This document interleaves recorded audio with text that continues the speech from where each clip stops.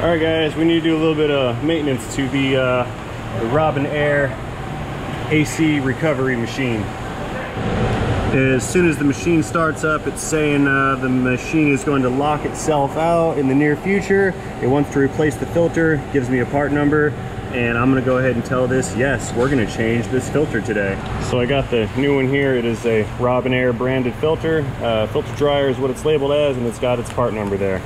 So we're gonna open this up, grab the serial number, program that into the machine over there, and take the covers off that machine and replace this thing because if we don't and it goes into lockout mode, we will have to call the service technician out to do this procedure.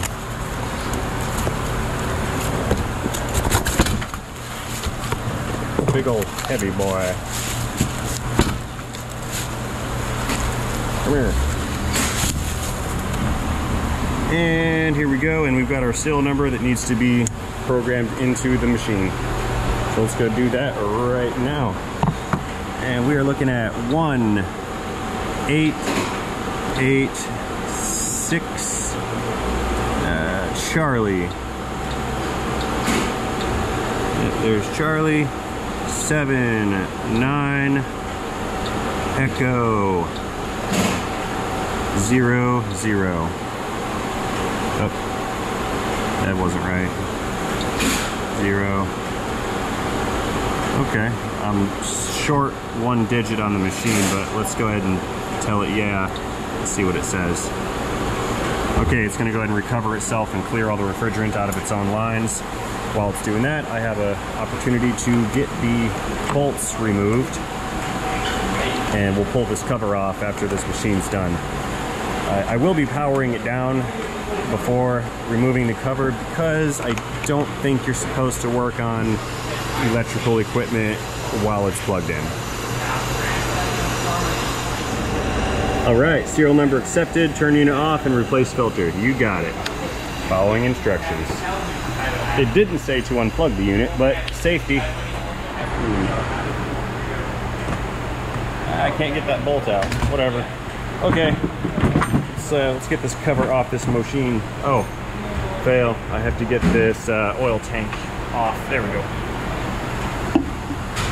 Are there any screws back there? It's already missing, so no.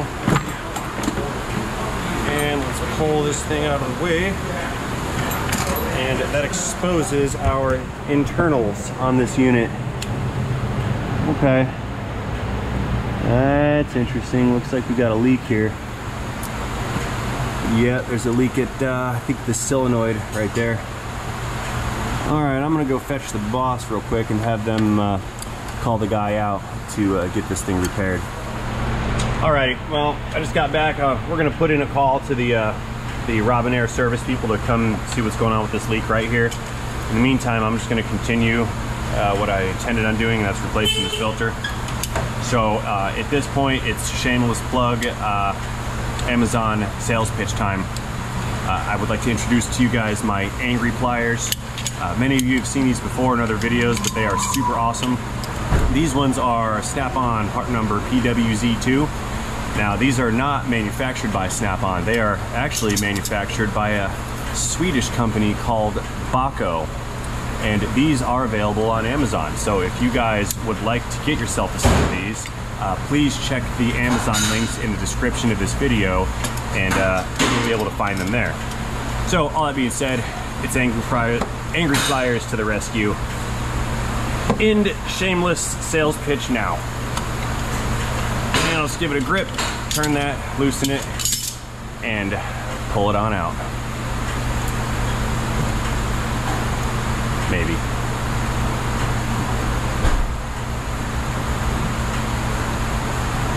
Come on. Actually, this thing could be the leak. There's a, quite a bit of dye on these threads. Once I get this out, I'll take a look for a closer inspection. Hmm, that O-ring looks good. Okay. Okay. Doing a side by side, and these are uh, appear to be the same. Well, well, well. I think I might have just saved us a service call. Look at what I found right here. comparing the top uh, top sections of these and noticing all of this dye that's going on right here, I see that this receiver dryer filter assembly does not have an O-ring right on top here, whereas this new replacement one does have an O-ring. And taking a look up into the this manifold, that O-ring is not present in there. It's not there, so this thing's been been leaking all over the place for quite some time. Well, that's cool. Okay, I think what I'm gonna do is just go ahead and install this unit and I will brake clean all this uh, dye and everything off of this and I'll recheck it in a week or so to see if it's got any leaks. Because I'd rather not pay the guy to come out here and try to service this machine when we don't need we don't need to do that because I, I may have just fixed it. However, I am wondering where exactly that O-ring went. I mean, theoretically, it should have it should have been installed on this filter last time this filter was changed. Who knows? Stranger things have happened. Let's get this. Come on.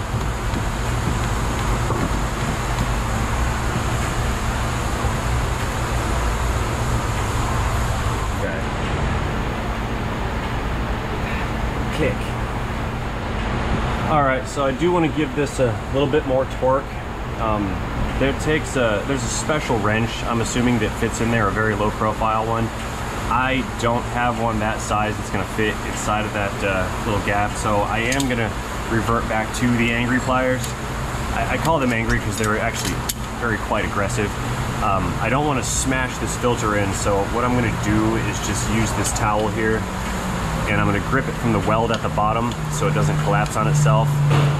And I'm just to give it a little bit of an oomph to secure it a little tighter. Okay.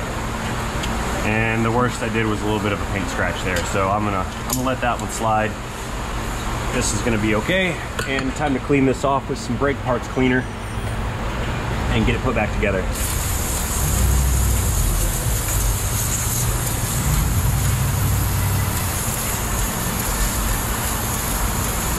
Ah, it appears this leak has been here for quite some time. Someone left a towel in there to soak up all this refrigerant and dye. Uh, yeah, I'm gonna I'm gonna resolve this problem today. I, I don't I don't like the condition that this machine is in.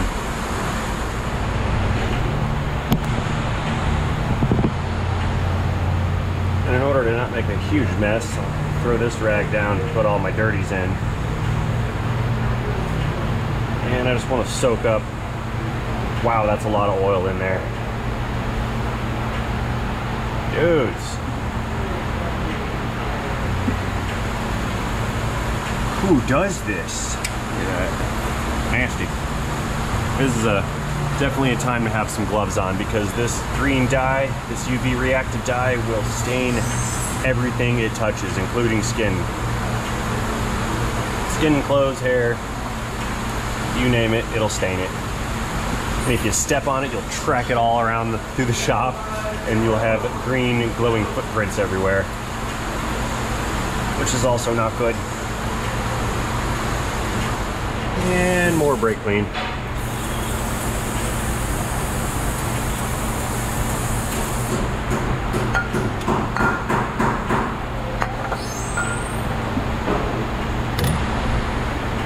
All right, I think that's about as good as I can get it. That's the majority of it all. So I'm gonna, I'm gonna power this machine back up after I get the lid on it. And, uh, oh, there's dye all over my floor and uh, hopefully it will work better next time we use it because this machine like I said earlier has been taking a very long time to install refrigerant charges. It's quite annoying. Well before I throw that cover on I'm gonna do one more spray down just for good measure. Like I said I'm gonna pull this cover back off in a in a week or so and verify that this thing in fact is leak free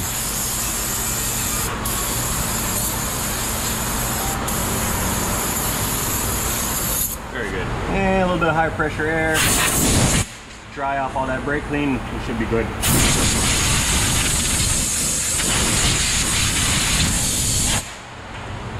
Oh no.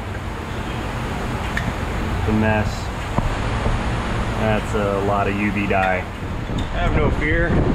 Absorbent mats are here. There. Standard operating procedure with these oil absorbent mats is to just uh, throw them down like newspaper in that movie Big Daddy with Adam Sandler and you just leave them there for eternity. There. Good to go. Let's get the cover back on this mofo.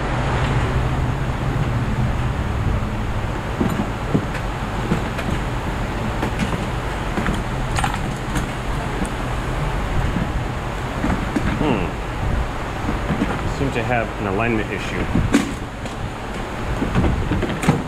Got it.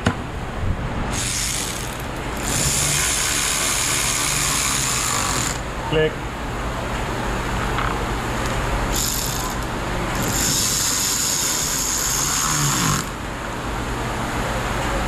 Click. And of course, I've got to get the oil tank, the recovery tank installed down here. That just slips in and pops into place. Very high tech.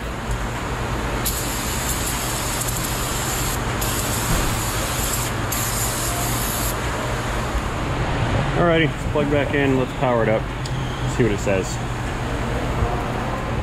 Okay, after startup, uh, the machine appears to be doing warning for oil drain. It's doing some kind of oil drain procedure. I, am not gonna actually change the compressor oil in this. We do not have any right now. Uh, but I am gonna be avoiding the lockout by changing that, uh, that filter. So I think we're good to go on this machine. So I hope you guys enjoyed watching me uh, service and uh, attempt to repair on this refrigerant recovery machine. If you did, please let me know about it by tapping tapping that thumbs up button. If, uh, if you know about these machines and can offer any insight to them, please uh, head down to the comments section and let me know. Okay, I thought I was done, but I'm not. Uh, it's telling me to drain the pump oil out and uh, replace it with five ounces of new oil.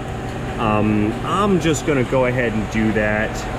Uh, it's, uh, it's time, might as well just service it. However, I don't have any vacuum pump oil, so we're gonna have to order some. Okay, here's the, that's the sight glass on the vacuum pump that's inside of here. It looks like there's moisture in that. And I believe this is the drain. Yes, it is, oh my God. Okay. Oh, dang, that's nasty too. It's all brown. It's definitely full of water. I'm glad I uh, made the decision to do this. That's good. Okay, I gotta figure out how to get this out of this without getting it all over this. I need a hose. Okay, let's try this. Drain bucket and a hose. That, that might work. Aha!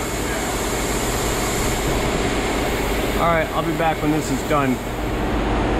All right, this has all drained out. All right, let's get this uh, pump filled up and that's not gonna happen unless I can get that open. Overkill? Yes. Did it work? Sure did.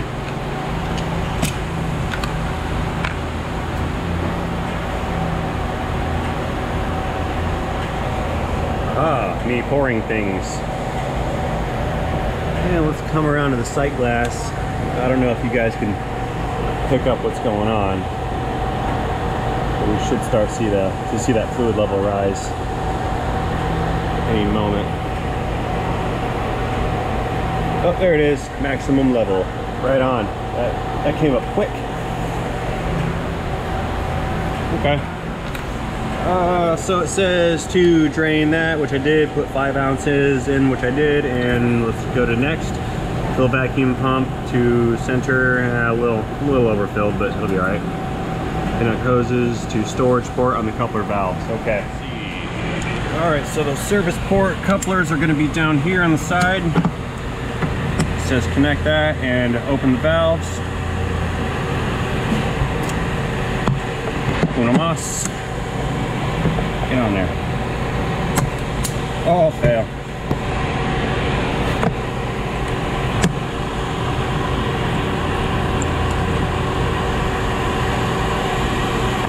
Let's try this again.